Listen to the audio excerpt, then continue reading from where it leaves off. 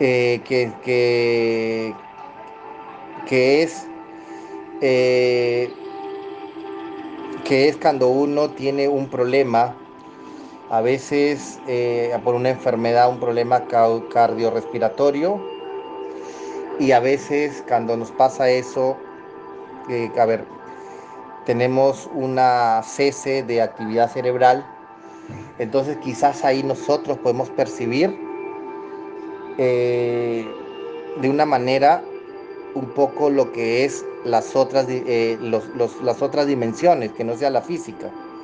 Entonces, personas que han pasado por eso y han regresado, entonces empiezan a contar esa vivencia, que no solo observaban con absoluto desapego su cuerpo tendido sobre la mesa del quirófano, sino que eran capaces de describir con asombrosa precisión todo cuanto sucedió a su alrededor incluyendo el estado emocional de los presentes.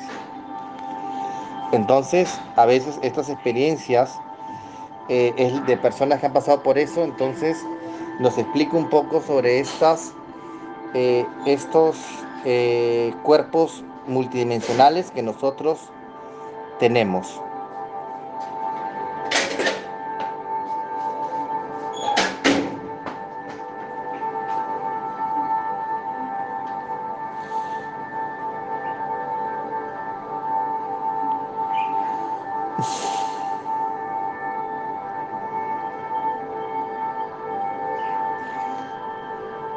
Bien, también les interesa, también nos interesa a nosotros las siete etapas de la, de la mujer. Esto demuestra que nuestra mente no reside en el cerebro, sino que lo hace en una dimensión distinta a la física, aunque es a este órgano donde van a parar todos los estímulos que se transmiten inmediatamente al cuerpo.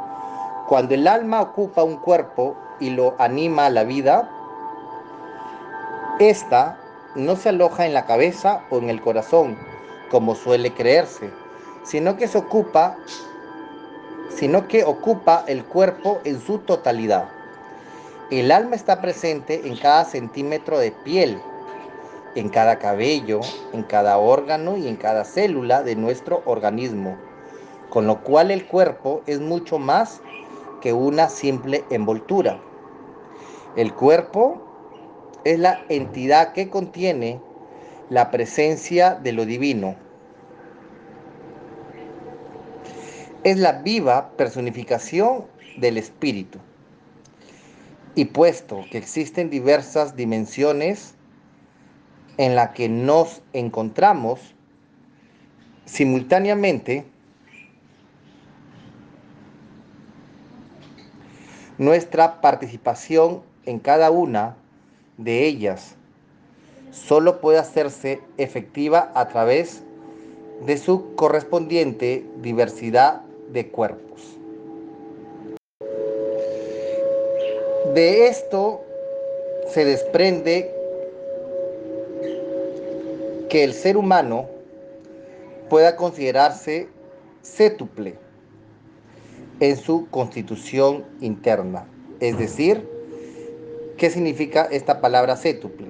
Significa que además del cuerpo físico, que es con, con el que nos manifestamos en el mundo físico, en forma de palabra o acción, disponemos de un cuerpo etérico o vital que lo anima a la vida, un cuerpo astral que contiene toda nuestra dimensión emocional, un cuerpo mental que nos permite razonar, aprender, analizar y discernir, un cuerpo causal o mental superior del que brota la voluntad que nos permite iniciar cualquier actividad, un cuerpo crístico o búdico con el que accedemos a las más altas cumbres de sabiduría, un cuerpo átmico que alberga la más pura esencia de lo divino, y estos son los siete cuerpos que ocupa simultáneamente el ser aquí y ahora, solo que en diferentes grados de intensidad.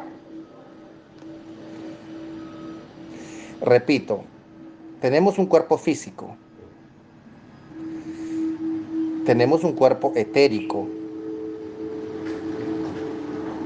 tenemos un cuerpo astral, van tres, tenemos eh,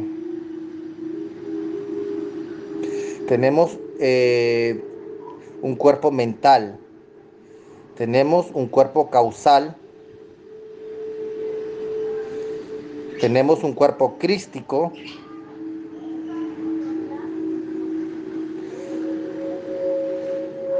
¿sí? A ver, eh, los cuerpos eh, son, me nos dice que son siete cuerpos, son el cuerpo físico,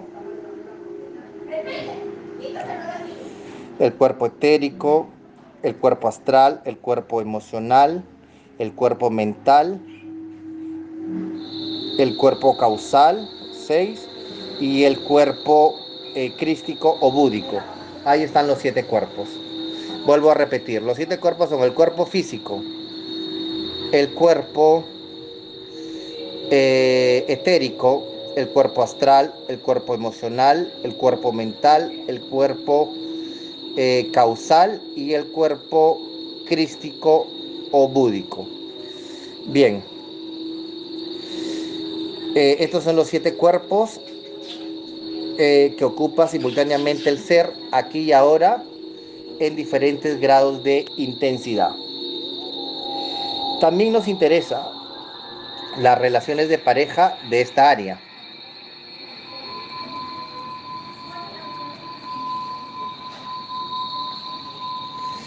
Reconocemos fácilmente el uso de nuestros cuatro cuerpos inferiores, el físico, el vital, el emocional y el mental, en nuestro quehacer cotidiano como cuando trabajamos, estudiamos, paseamos, conversamos, practicamos algún deporte, etc. Pero es cuando actuamos desde el corazón, cuando amamos.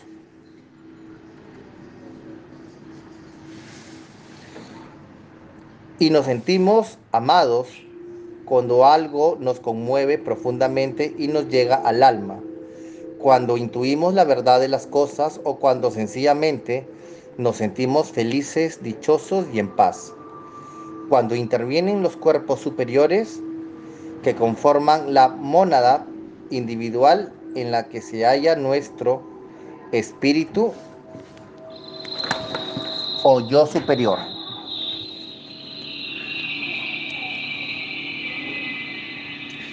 Podemos vivir nuestra vida permitiendo que afloren